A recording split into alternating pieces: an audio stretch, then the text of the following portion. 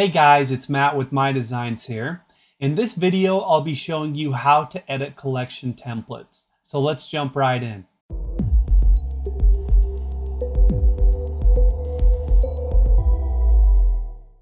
So the first thing we want to do is navigate to the listings tab that's located right underneath dashboard here and click into that.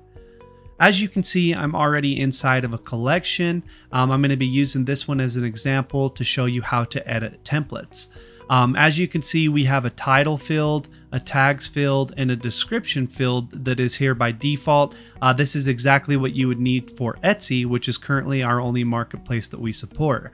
What I'm going to do today in this video is show you how you can set this template up for any marketplace that you need, and I'm going to be using Merch by Amazon as an example.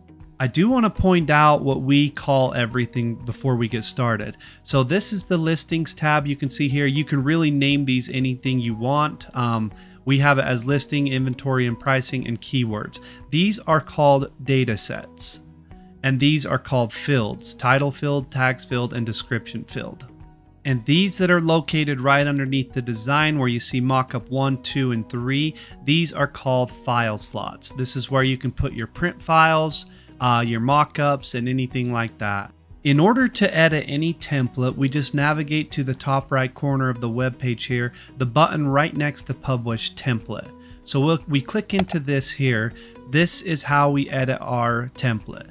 As you can see, we have our data sets here, our fields here, and our file slots down here. When we're creating new fields, we can change the name of the field here the field type, we have four different ones. There's text, text area, tags, and number. Text would be for anything that's short, like a title. Um, text area is for longer text, like a description. Tags is for a tags field, and numbers would be for your pricing. We can edit any field by going to the Edit Field button located here. And we can change the name of any of our file slots by just clicking on the name and then changing the name and clicking update slot. We also allow you to save your own templates um, so that you can easily apply them to other collections. Um, you can load templates by clicking the button here. We have some pre-saved uh, templates, and then if you ever save your own templates, those would also appear here as well. Now, just so I can show an example, I'll show you how to delete a field and create a new one.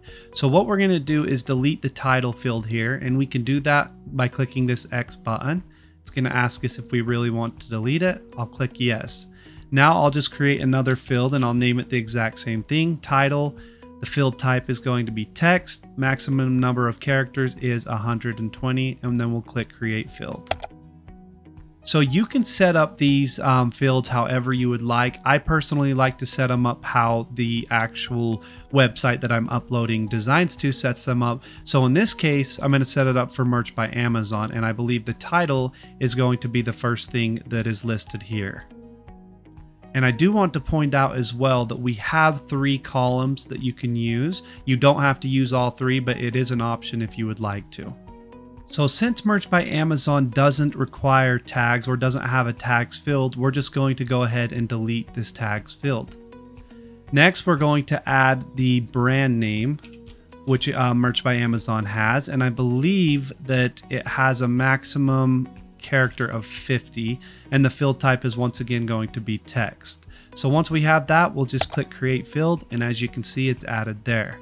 Next, we're going to add bullet 1, and I believe it's 256 characters for this. And then we'll click create field and then we'll do bullet two, same thing, 256 characters and create field. So now that we have all of the fields that Merch by Amazon requires, we'll go ahead and rearrange these um, in the order that they have it on Merch by Amazon.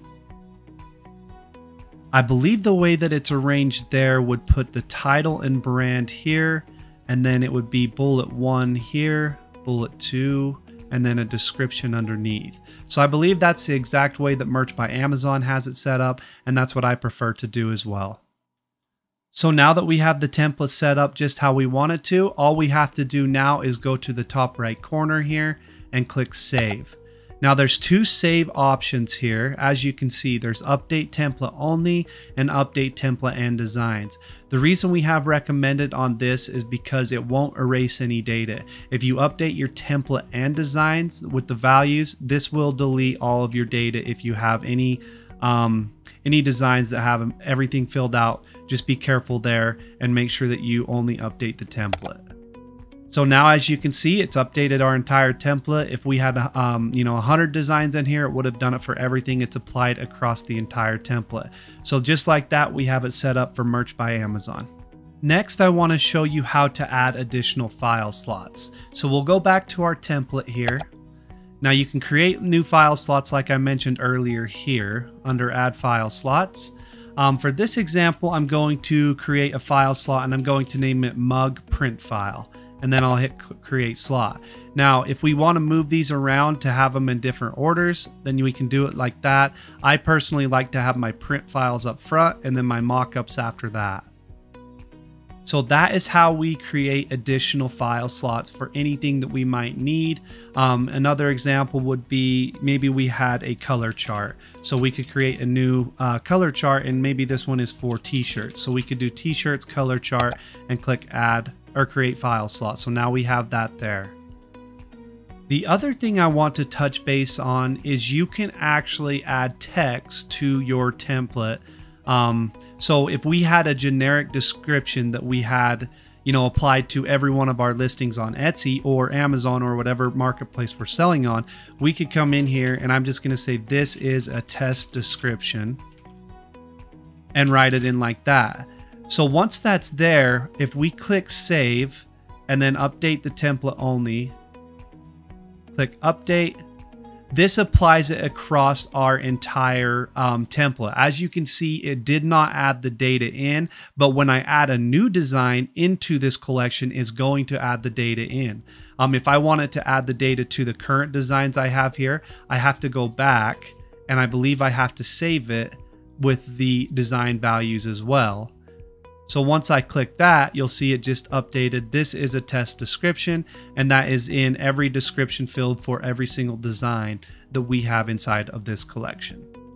And I do want to touch base just a little further on that and show you some of the other cool things that you can do. So we're going to go back into the template here, and I'm going to show you that we can actually use variables too. So variables are used in a way that we first mention the data set, and then we put a period and then we mention the title field that we want it to pull from.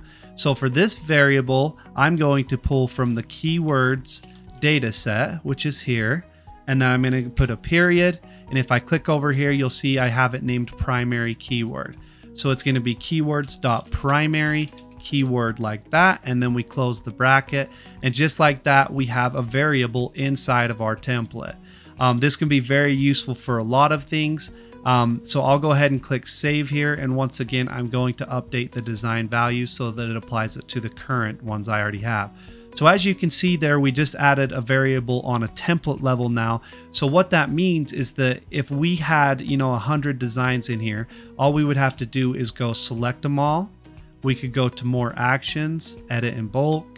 And then what I'm going to do here is add to that primary keyword field, which is where my variable is pulling from. I'll add to the front and I'm actually going to add another variable here. And this time I'm going to pull the file name of this actual design. So you'll see there, yeah, the only way to do this is inside of bulk edit here and you click the add variable button down here. It gives you a preview here and so the adventure begins. I personally like to name all of my designs what my primary keywords are going to be. So once I have that done, I'll just click apply to the selected listings. And now you can see, and so the adventure begins. Camp Hair Don't Care. If I go into the keywords field, that's where it's added. So that is very powerful to use on a template level if you plan on using keywords, which most people will for every single listing. The last thing that I want to show you is how to actually save templates that you create. So let's say we really like this template we just made. All we have to do is go back into the template and then we come up here, uh, you see this button, save as private. If we click this, we it pulls up save template as. So this is how we can save it. And this one i would just name merch by amazon as that's what the template's set up for. You can write a description if you would like. As you can see it says optional. This is for my merch by amazon designs. And then we can click save template. And then just like that now once we go to load templates you'll see at the very top there merch by amazon this is for my merch by Amazon Designs.